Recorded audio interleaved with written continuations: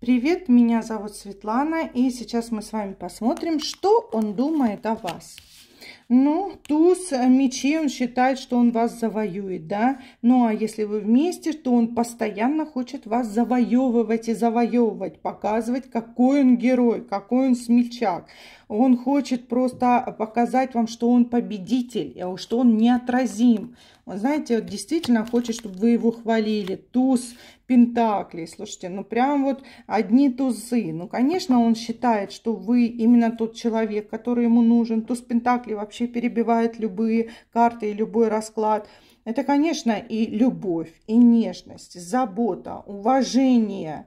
А, он хочет вам сделать какой-то крупный подарок, да, преподнести что-то ценное, да, и вас, конечно, ценит и бережно держит в своих руках. Он хочет вас держать, владеть вами, потому что вы бесценный а, просто подарок. Давайте дальше смотреть, что у нас с вами, о чем он думает, что он думает о вас.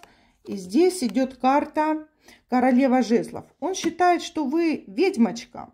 Вы та самая ворожея, чаровница, которая его околдовали, очаровали, просто жить без вас не может. И, может быть, даже у вас и спрашивал, может быть, ты меня приворожила? Вот постоянно у него такие, знаете, крутятся мысли в голове. А может быть, она меня приворожила.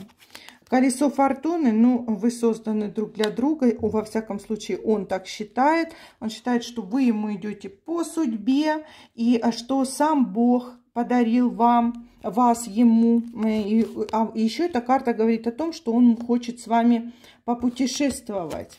Карта э, семерка мечей говорит о том, что очень много завистливых людей. И э, наверняка э, вот эта карта как раз таки говорит, что он не хотел бы вас никому отдавать.